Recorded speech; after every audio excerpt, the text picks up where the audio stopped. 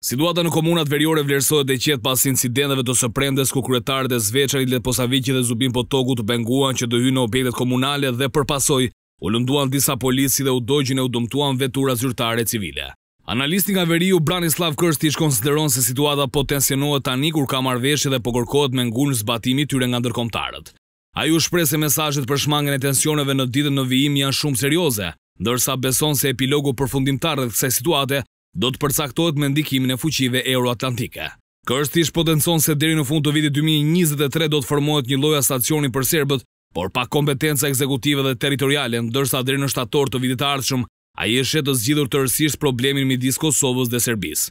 Serbët lokalë në veri urojnë për një marrëveshje sa më të shpejtë politike për të rregulluar gjërat në këto komuna, por edhe se nuk i njohin kryetarët e rinj të komunave të zgjedhur përmes votës më njëzet e tre prill.